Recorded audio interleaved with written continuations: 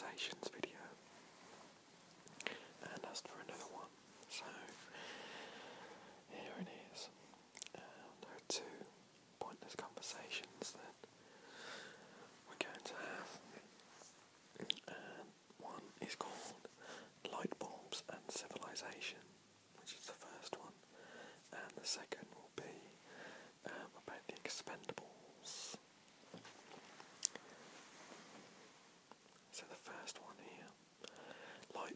and civilization. About an amazing light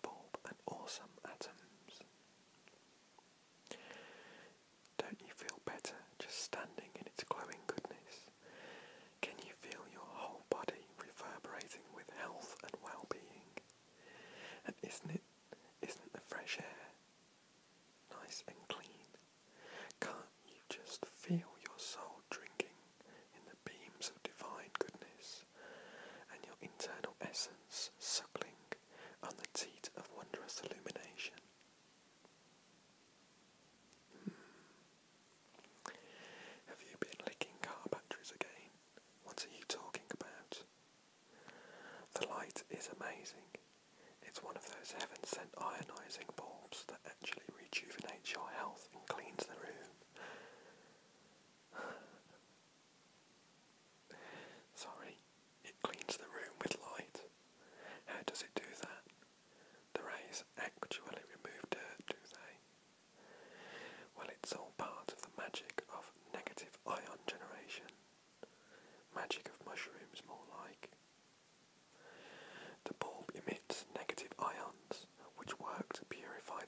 and the surrounding space.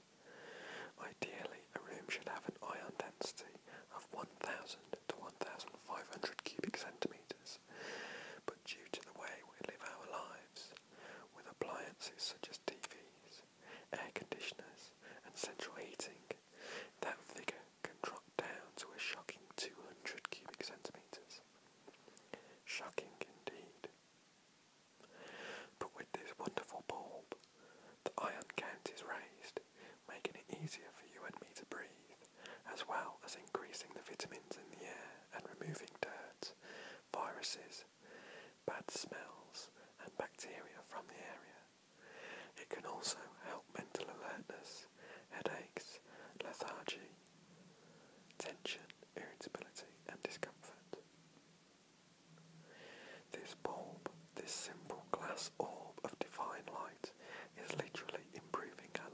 as we speak.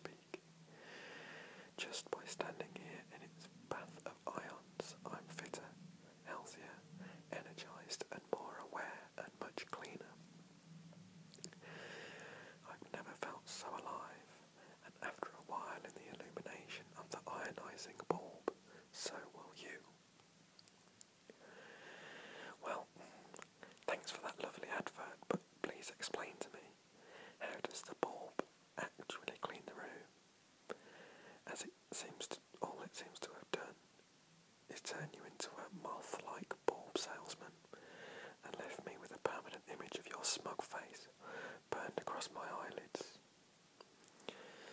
It's perfectly simple. The emitted ions cling to the dust particles in the air, making them heavier, so that they fall to the floor. With the dust out of the air, it makes it a lot easier to breathe. And, but presumably, the dust is still there, right? It hasn't actually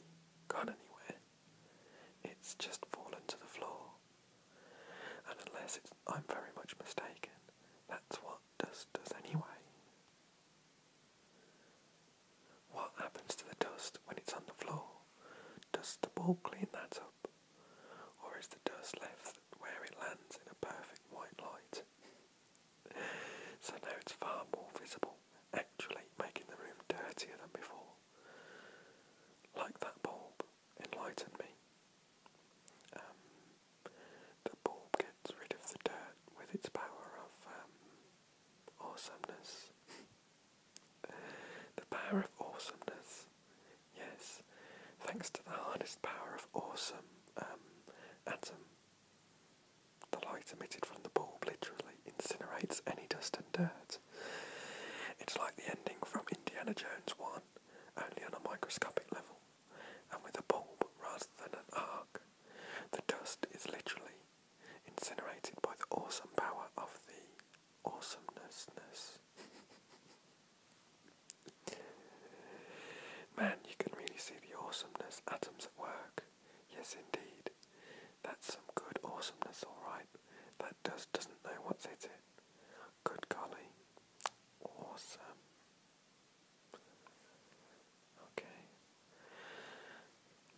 So now we're going to move on to the Expendables.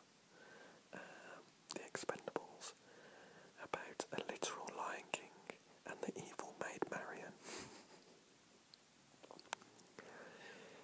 anyway, I thought the climatic battle at the end of Robin Hood was a bit unpleasant, due to the way in which 50 plus children are needlessly sent to their slaughter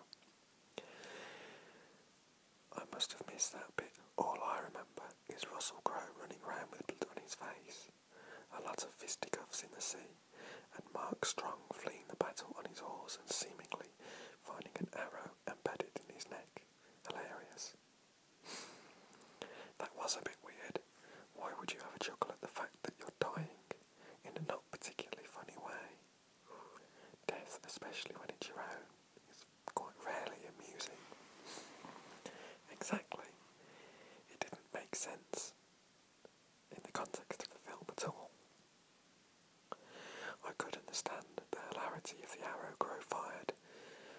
killed Strong in the slapstick way, such as overshooting his head, bouncing off a rock, skimming a crab, and ricocheting back into his eye. That would warrant a little death chuckle, despite the obvious agony.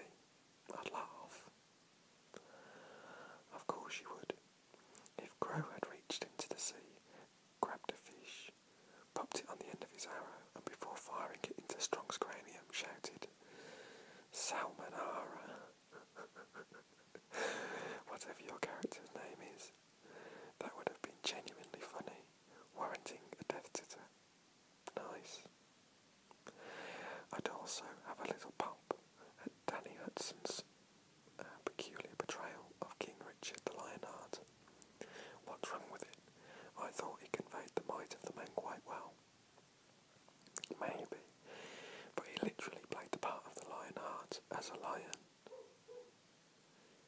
In his first scene, he roars, You watch it.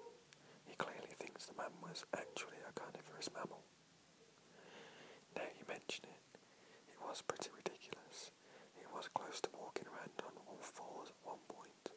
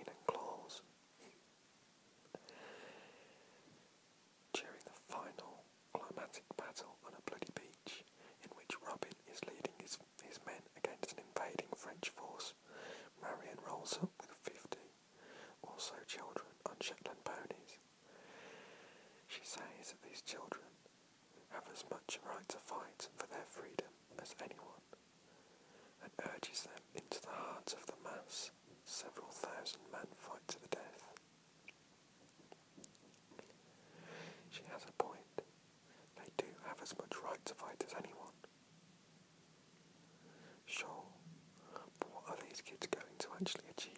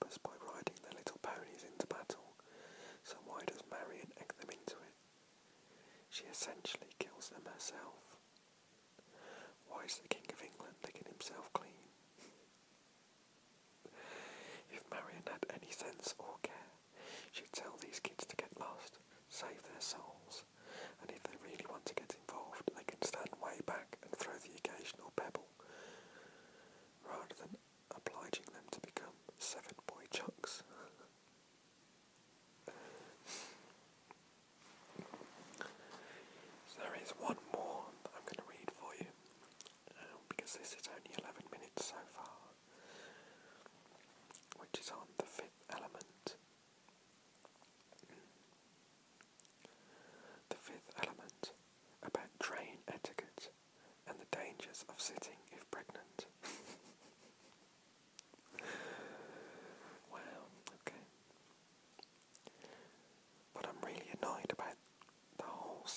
situation on trains. Mainly the fact that some people feel it necessary to take up two seats for themselves, even when the train is literally fit to burst with commuters. Oh, don't get me started. I had the exact same situation the other day. I had a long trip back from London. There wasn't a seat to be had. There were twenty other people sardined near the doors. But there's some pom-poms sit, sitting next to the aisle, keeping the adjacent seat near to the window to himself. Why? What possible reason has he got for needing two seats? I suppose you said something to him. Well, I was going to. I mean, you're all over the opinions. You're not afraid to make your point heard. You even called Superman a coward. Surely, this busiest man. surely, this business man. That spelled business really funny with a Y for some reason. This businessman received your full blast of frank, unprohibited rage. Well, like any good Brit, I let my feelings known. Good on you. Yeah. I told him where to get off all right. Yeah. I took him down a peg. I said, told. It was more of a, stone cold stare, but I could tell that the sheer ferocity of my stare had him shaken to its very core. When my dilated pupils come on, come a gazing, you know that trouble is afoot. I say stare. It was more of a fleeting and bashful glance, but I tell you what, he got the message all right. Did he? I assume he did the courteous thing and moved up to let you sit down. He sure did. I say did. It was more. Did you wait until he'd gotten off one stop before you, and then take one of the empty seats? Yeah. But I got one of the seats though, ahead of anyone else. So at the end of the day, who's the winner here? Not the scummy hoodie, not the smelly tramp, not the heavily pregnant lady, not the genius who thinks it's okay to bring a massive mountain bike onto the busy train, leave you blocking the doors, and then sit down and berate anyone who tries to move it, but me, numero uno. The winner got the seat. For one stop, King of the Jungle, in your face, Darwin. Or high five, Charles Darwin, if that makes more sense. Sorry, did you say that you prevented a heavily pregnant woman from sitting down? Yes, I did. Championo. Well, don't you feel a wee bit bad for not letting her take twice take the twice as heavy weight off her feet? No. Why not? That poor woman had been standing up just as long as you, but you saw fit to take the seat ahead of her and her unborn, unborn child. You don't have a problem with that. No. What's wrong with that? She shouldn't be sitting down anyway. What? It's bad for the baby's health if the mum sits down. There's a risk that it might be crushed in between her thighs, or at least give a little squeeze around the head area. I read that somewhere.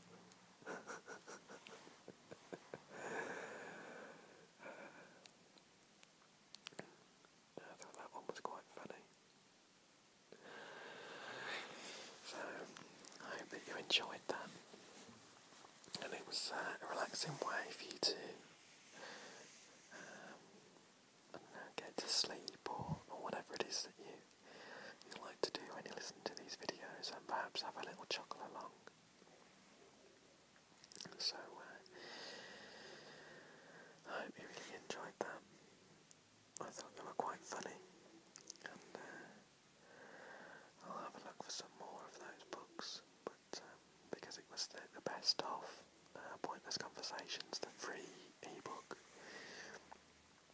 Um, I think I'll probably have